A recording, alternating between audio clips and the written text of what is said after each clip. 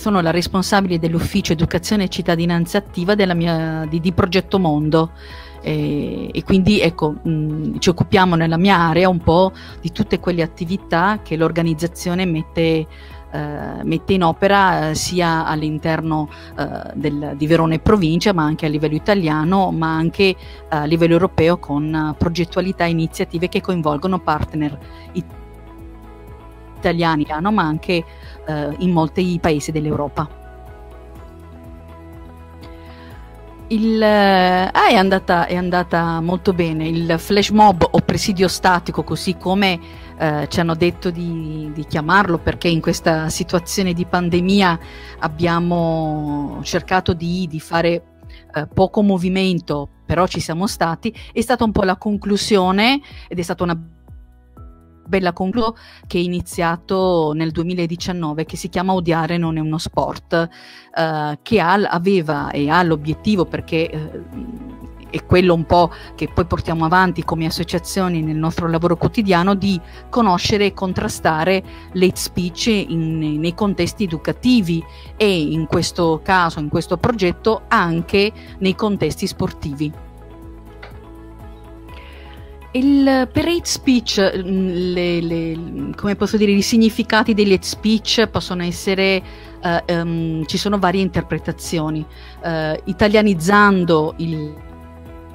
ne si parla di discorsi d'odio, discorsi d'odio che non sono legati soltanto a, a una, come posso dire, legati a, a, un colore della pelle o a un credo religioso, ma è molto più subdolo, è legato al genere, è legato alla, a problemi magari legati uh, fisici di, di, di, delle persone. E quel modo di pensare, di esprimersi che è molto subdolo e che influenza molto i giovani, perché i giovani hanno poca consapevolezza di quanto possano uh, pesare le parole, anche dette in maniera gioviale a un compagno, uh, perché lo si ritiene tale, lo si ritiene un amico, però lo si apostrofa con delle parole che possono essere pesanti, che possono avere delle conseguenze alle volte ehm, altrettanto importanti. Per cui per dis- eh, quando parliamo di hate speech vogliamo eh, intendere tutto quel linguaggio eh, che non include, che esclude eh, l'altro, che possano poi essere pesanti eh, perché eh, si apostrofa in maniera anche violenta, ma anche tutto quel linguaggio che ormai è diventato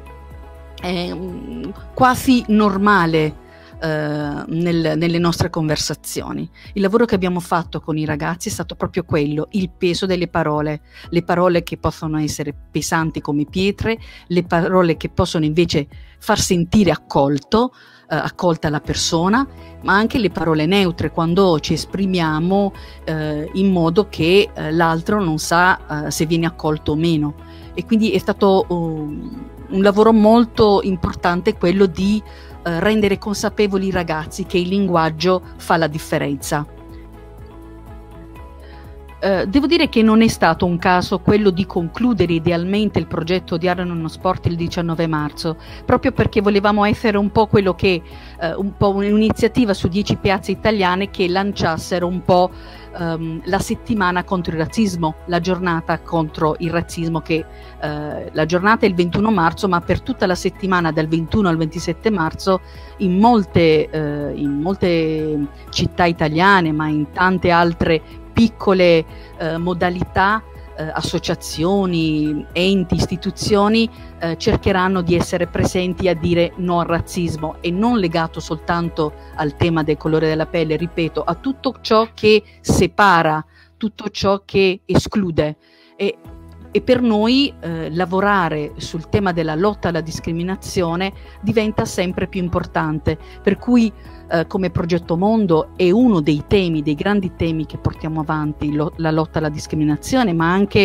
eh, con un pensiero pedagogico di lotta alla discriminazione e contro il razzismo. Quindi è, è, è molto importante perché l, l, le iniziative che portiamo avanti eh, sono di, di, di carattere formativo con docenti, allenatori, associazioni, educatori, ma anche educativo. Soltanto con il progetto Odiare non è uno sport abbiamo incontrato 600 ragazzi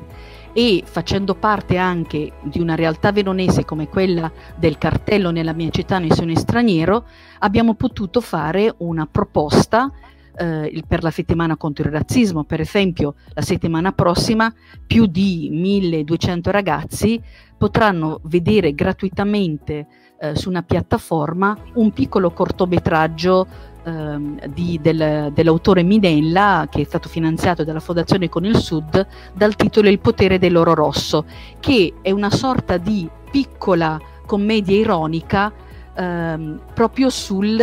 ehm,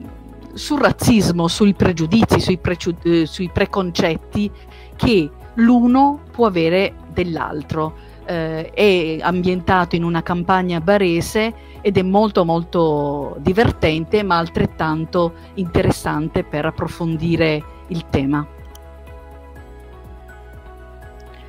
Progetto Mondo di fatto in questi 54 anni di età lavora proprio per l'inclusione e attualmente siamo presenti eh, in molti paesi dell'America Latina e dell'Africa proprio con progetti di inclusione, inclusione quando parliamo del lavoro con le donne, con eh, i cafetaleros peruviani